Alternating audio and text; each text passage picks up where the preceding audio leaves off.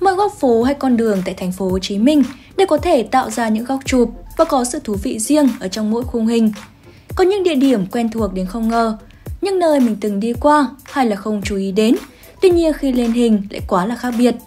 Với những location chất chơi dưới đây, các bạn chỉ cần diện outfit thật đẹp đã đã có thể chụp được hàng trăm tấm hình thật đẹp như lookbook ở các địa điểm này rồi.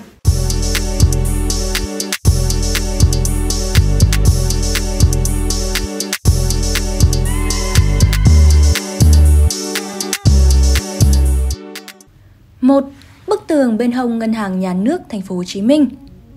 Nằm ngay đại lộ lớn Tâm Nập, đây là địa điểm hot dần dần cho giới trẻ giữa lòng quận 1. Với phong cách thiết kế hơi hướng cổ điển, bê tông màu xám cùng với những tấm đá ghép, nơi đây toát lên một vẻ sang trọng và lịch lãm. Check-in ngay tòa nhà cổ điển của Sài Gòn này, bạn sẽ thấy bức ảnh mang hơi hướng của những thập niên trước, mang một nét cổ kính ngỡ như lạc ở trời Âu vậy đó.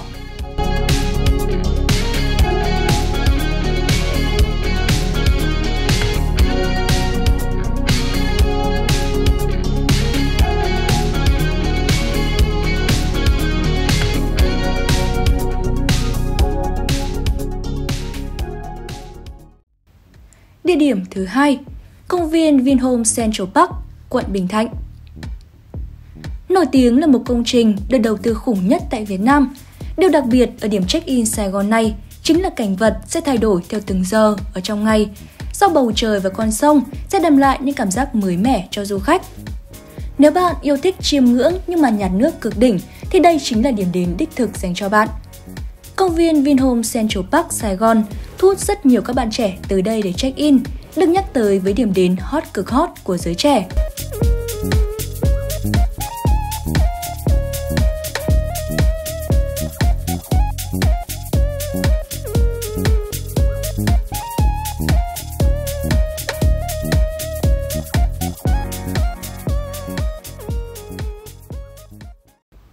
Địa điểm thứ ba, khu Phú Mỹ Hưng, quận 7. Khu đô thị Phú Mỹ Hưng được đánh giá là khu đô thị kiểu mới ở thành phố Sài Gòn. Khu đô thị này có cảnh quan đặc sắc, được bình chọn là nơi chụp ảnh ngoại cảnh đẹp của thành phố. Với không gian rộng lớn, có sự kết hợp giữa thiên nhiên trong xanh cùng với hơi thở cuộc sống hiện đại. Chỉ cần dạo quanh một vòng ở địa điểm check-in Sài Gòn này là có thể gom về rất nhiều bức ảnh siêu xịn sò luôn nhá.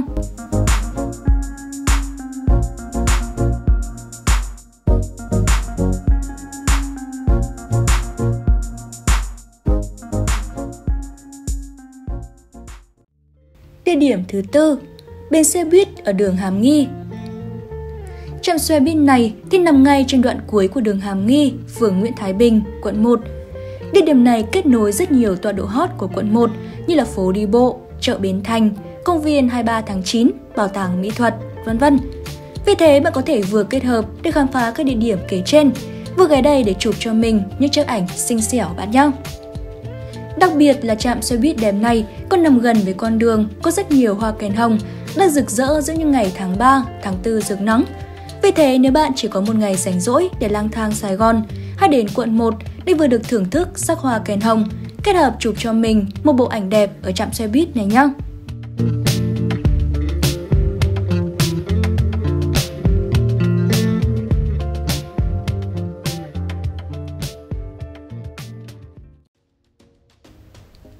Năm Nắp hầm Thủ Thiêm Nắp hầm Thủ Thiêm là một địa điểm lý tưởng được rất nhiều bạn trẻ lựa chọn để làm nơi hóng mát buổi chiều và ngắm nhìn hoàng hôn thành phố cực kỳ đẹp luôn nha. Nhìn mặt sông Sài Gòn êm ả trôi, ánh mặt trời vàng soi chiếu khắp không gian, thành phố bước vào một giai đoạn chuyển giao sáng và tối. Và tất cả tạo nên một quang cảnh nên thơ, bình yên hơn tại thành phố sôi động nhất Việt Nam này. Về đêm bạn có thể ngắm nhìn khung cảnh tuyệt đẹp của trung tâm thành phố với biểu tượng tòa nhà Piteco từ phía nóc hầm của Thủ Thiêm. Và đây cũng là nơi cho ra đời vô vàn những bức ảnh sống ảo, siêu xịn so của giới trẻ trên mạng xã hội.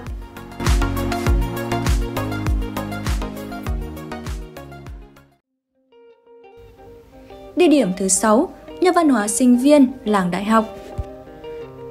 Có thể xem đây là ngôi sao sáng gây sốt tại làng đại học trong một năm qua. Được xây dựng trên khu đất có diện tích là 3,55 hecta với thiết kế 7 tầng gồm có một trệt, 5 lầu và một sân thượng, mái che thang. tổng diện tích xây dựng lên đến 30.000 m2. Nhà văn hóa sinh viên như một khu giải trí phức hợp.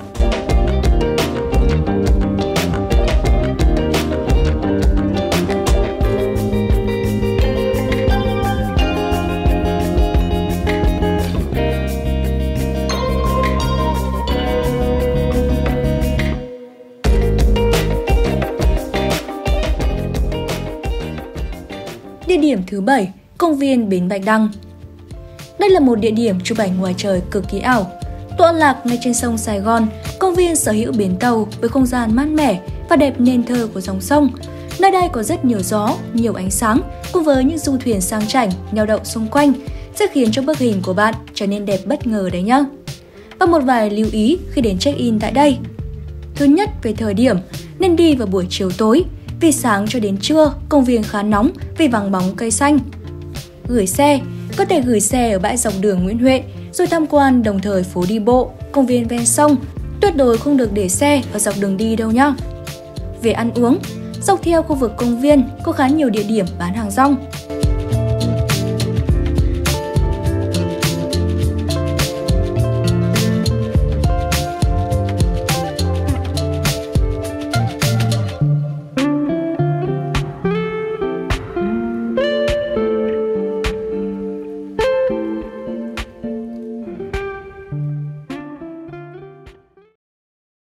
Địa điểm thứ 8, khu Thảo Điền. Nằm bên bờ sông Sài Gòn thơ mộng, khu vực Thảo Điền từ lâu vốn được biết đến là một khu nhà giàu với đủ thể loại biệt thự lớn bé, với những quán cà phê, tổ hợp vui chơi hàng đầu của giới trẻ. Những bức ảnh được check-in ở đây khiến cho rất nhiều người nhầm tưởng rằng là Singapore hay là Hàn Quốc.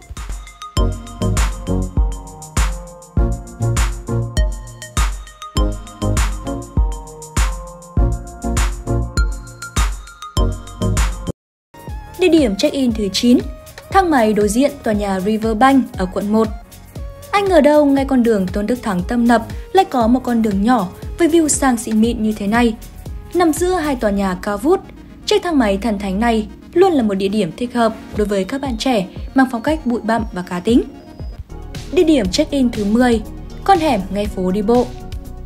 Đường hẻm nhỏ gần ra con đường Tôn Đức Thắng, giữa một ngân hàng lớn và công ty du lịch với tông màu chủ đạo là đen và xám, phù hợp với rất nhiều outfit. Cho nên đây đang là địa điểm check-in được lòng rất nhiều các bạn trẻ cũng như KOL. Trên đây là 10 địa điểm check-in Sài Gòn đang hot nhất năm nay.